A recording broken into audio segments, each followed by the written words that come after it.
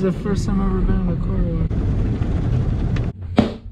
car. Oh my! What is up, you guys? Okay, King Vlogs here. So I'm at tennis right now. It's the last day, but hang on. So it's not a practice right now. It's the last day. It's been pretty fun here. I mean, uh, personally, I enjoy it. Here's my boy Ryan.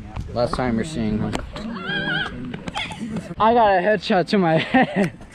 I'm gonna miss this court. We're about to go through a car wash.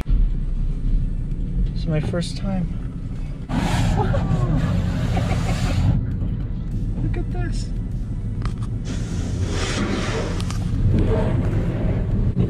This is the first time I've ever been in a car wash.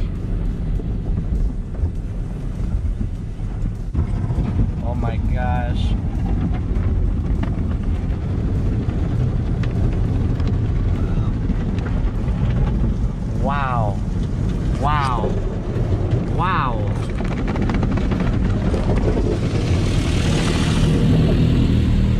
First time going through one. Nice. See.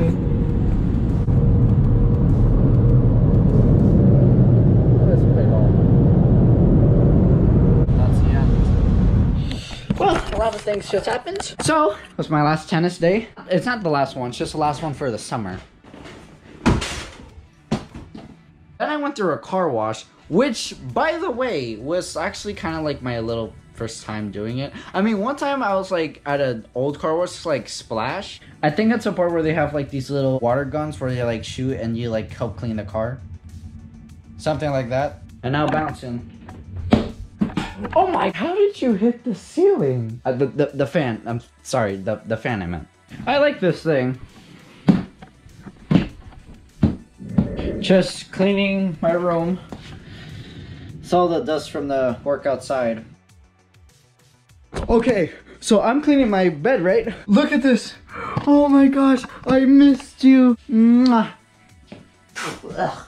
I can finally charge these and kind of um, stop using these headphones. But I'm gonna try to use it for like TikToks because like a lot of people use it. It's not about the equipment, it's about the value you can give. Okay, so it's about like midnight right now. I'm supposed to upload this video. Crazy day. You know, I've been through a car wash. I got some labor done. I cleaned my room. I might start doing this from now on. Vlog the whole day. Can show the process. I'll see you guys tomorrow. See you then.